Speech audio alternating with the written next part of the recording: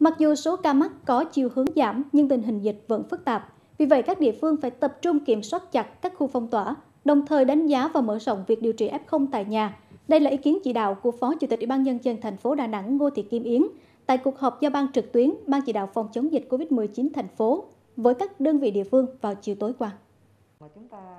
Qua ý kiến của các đơn vị địa phương tại cuộc họp, Phó Chủ tịch Ủy ban nhân dân thành phố Ngô Thị Kim Yến nhận định tình hình dịch hiện vẫn diễn biến phức tạp, vì vậy các địa phương tiếp tục thực hiện các biện pháp phòng chống dịch, không được chủ quan buông lỏng, lưu ý kiểm soát các điểm phong tỏa, ngăn chặn dịch lây lan.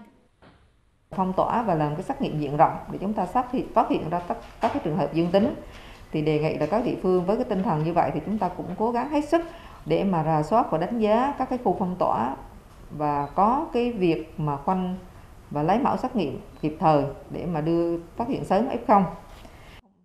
Phó Chủ tịch Ủy ban Nhân dân thành phố đề nghị ngành y tế và các địa phương đánh giá cụ thể việc cách ly điều trị F0 tại nhà để sớm mở rộng trên địa bàn.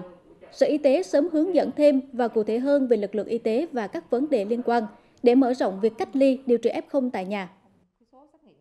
Sau cái hướng dẫn của Bộ Y tế thì nó sẽ có một số các cái nội dung thay đổi rất là nhiều thì Sở Y tế cập nhật kịp thời để có cái hướng dẫn trong cái sổ tay điều trị F0 tại nhà.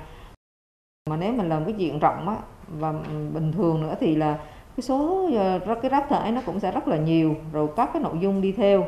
về công nghệ thông tin về cái vận hành của cái hệ thống phần mềm về quản lý F0 tại nhà thì đề nghị tất cả các nội dung chuẩn bị cho cái việc triển khai F0 tại nhà với quy mô toàn thành phố thì đề nghị là Sở Y tế sớm à, sớm có cái hướng dẫn cũng tham mưu cho thành phố. Phó Chủ tịch Ủy ban nhân dân thành phố đề nghị sớm triển khai trạm y tế lưu động tại các khu công nghiệp.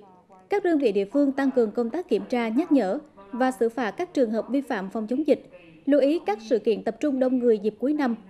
Các sở ngành liên quan trực tiếp đến các sự kiện do mình quản lý, chịu hoàn toàn trách nhiệm trước Ủy ban nhân dân thành phố nếu để xảy ra các vi phạm phòng chống dịch. Liên quan đến việc mua sắm test xét nghiệm, Phó Chủ tịch Ủy ban nhân dân thành phố khẳng định Đà Nẵng thực hiện các trình tự thủ tục mua sắm, đấu thầu test sinh phẩm xét nghiệm của công ty Việt Á đúng quy định pháp luật.